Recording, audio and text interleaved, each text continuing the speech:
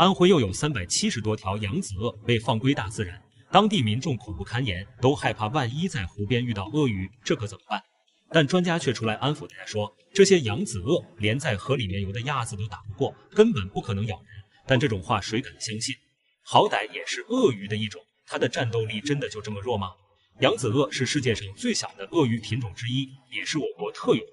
因为数量稀少，所以现在被我国列为了珍稀保护动物。在扬子鳄身上，至今还可以找到很多恐龙类动物的特征，对于人们研究古代爬行动物的演变过程有着重要意义。所以，扬子鳄也被称为活化石。在人们的固有思维中，认为不管是什么品种的鳄鱼都特别凶残，随时都有伤害人类的风险。但扬子鳄是现存鳄鱼中体型最小、性情最温顺的一种。看别人家的鳄鱼凶神恶煞，再看咱们的扬子鳄眉清目秀、温顺可爱，只要把它的尾巴抓住，它也毫无办法，只能乖乖求饶。